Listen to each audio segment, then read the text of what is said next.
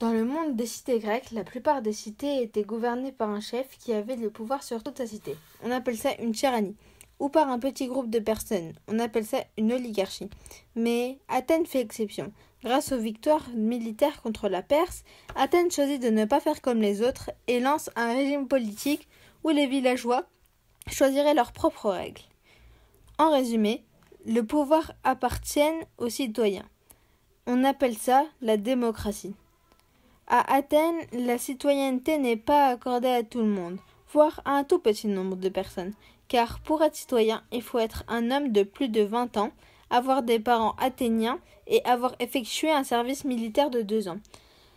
Les citoyens ont plusieurs droits, comme des propriétés, se marier, voter, être tiré au sort pour être jugé à l'ailier, faire des lois à la boulée, être élu comme magistrade, et j'en passe.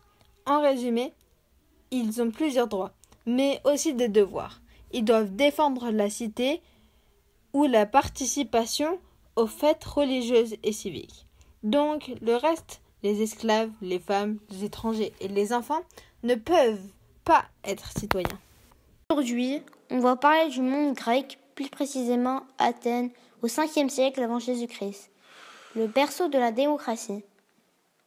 La démocratie est un régime politique qui donne le pouvoir aux citoyens. Ils partent à l'Ecclésia. L'Ecclésia est un groupe de citoyens qui votent et qui se mettent d'accord pour créer des lois. Pour être un citoyen, il faut avoir plus de 20 ans, être un homme, avoir des parents athéniens et effectuer l'éphébie. Quand, quand vous êtes citoyen, vous avez des droits et des devoirs. Les droits sont être. Vous avez le droit d'être propriétaire d'une terre agricole, avoir une meilleure protection juridique et vous pouvez participer au gouvernement de la cité. Vos devoirs sont de défendre la cité, participer aux fêtes religieuses et civiques. Les femmes, les étrangers et les esclaves sont interdits de la citoyenneté les femmes sont considérées comme des mineurs. Et donc, ils ne peuvent pas. Les esclaves sont considérés comme des objets. Ils peuvent se vendre ou on peut leur donner la liberté. Les étrangers n'ont pas, de, pas de parents athéniens, donc ils ne peuvent pas être un, ils ne peuvent pas être un citoyen. Bonjour madame, voici le devoir que vous avez demandé de faire euh, le bilan oralement. Alors, je commence.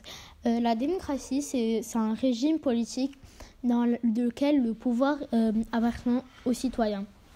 Pour exercer ce pouvoir, les citoyens athéniens se rassemblent à l'Ecclésia pour discuter des lois et pour les voter aussi.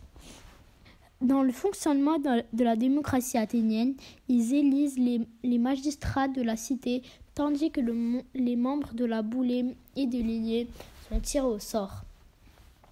Les citoyens peuvent bannir de la cité toute personne qui leur semble dangereuse, ce qui est appelé l'ostracisme. Euh, la citoyenneté n'est accordée qu'à un très petit nombre d'habitants.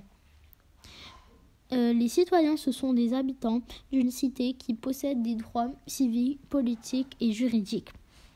Pour être citoyen, il faut être un homme, avoir plus de 20 ans, avoir des parents athéniens et avoir effectué l'éphébie. L'éphébie, c'est un service militaire euh, de deux ans. Euh, être un citoyen athénien confère des droits, car seuls les citoyens ont le droit d'être propriétaires de leur terre. Ils bénéficient, également d'une meilleure euh, protection juridique que les étrangers et les esclaves. Et surtout, seuls les citoyens ont le droit de participer au gouvernement de la cité. Les citoyens ont également des devoirs, comme la défense de la cité, ou la participation aux fêtes religieuses et civiques en l'honneur d'Athéna. Les femmes, les enfants et les, euh, les étrangers et les esclaves sont exclus de la statue des citoyens, de citoyens. Les femmes sont considérées comme des mineurs. Les étrangers, qui sont appelés métèques, doivent payer une taxe pour avoir le droit de résider à Athènes. Et enfin, les esclaves sont considérés comme des objets qu'il est possible de vendre ou d'affranchir. Affranchir, ça veut dire de, de les rendre libres. Voilà, madame, merci, au revoir.